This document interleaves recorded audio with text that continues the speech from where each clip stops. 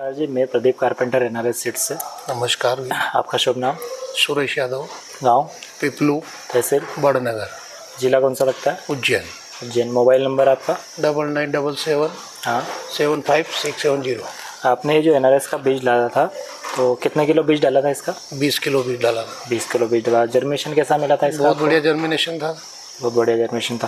ये पहली बार डाला था या पहले भी आपने लगाया पिछले था? साल थोड़ा बहुत टेस्ट करने के लिए लाए थे। पिछले साल आपने टेस्ट किया था तो पिछले साल आपका जो स्टॉक था वो लगभग कितने महीने का स्टॉक किया था आपने? पिछले साल भी हमने इसको स्टॉक में रखा था पूरी बारिश रखी थी हाँ। अपना हाँ। कम से कम छः सात महीने पकड़ लो। छः सात महीने आपने स्टॉक में रखा था तो छः सात महीने बाद जब आपने प्याज को निकाला था उसको कंडीशन कैसी रही थी?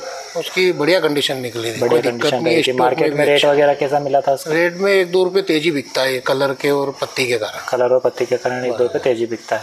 और इस बार जैसा आपने पूरा यही लगाया था एनआरएस का प्याज बीज तो गुलाबी वैरायटी आपने लगाई थी। गुलाबी है ना? इसका जो कलर वगैरह है और इसकी मेच्योरिटी कितने दिन में कंप्लीट हो गया था ये? ये 105 से 10 दिन में कंप्लीट बाहर 105 निकाले से 110 हार्वेस्टिंग दिन में आपने खेत से बाहर कर दिया था। हार्वेस्टिंग हो गई। इसकी रोग प्रतिरोधक क्षमता कैसी रही? रोग प्रतिरोधक क्षमता भी अच्छी रही ज़्यादा रोग नहीं लगे इसमें। हाँ।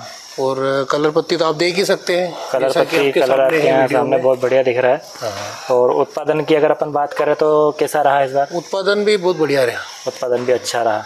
मतलब आप पूरी तरह से इस चीज़ से संतुष्ट हैं। बिल्कुल संतुष्ट है। तो बाकी किसानों को क्या बोलना चाहेंगे आप एनआरएस के बारे में? कहना चाहेंगे सब कि आप एनआरएस बीज लीजिए इसमें कोई दिक्कत नहीं है आपको स्टॉक में भी दिक्कत नहीं है।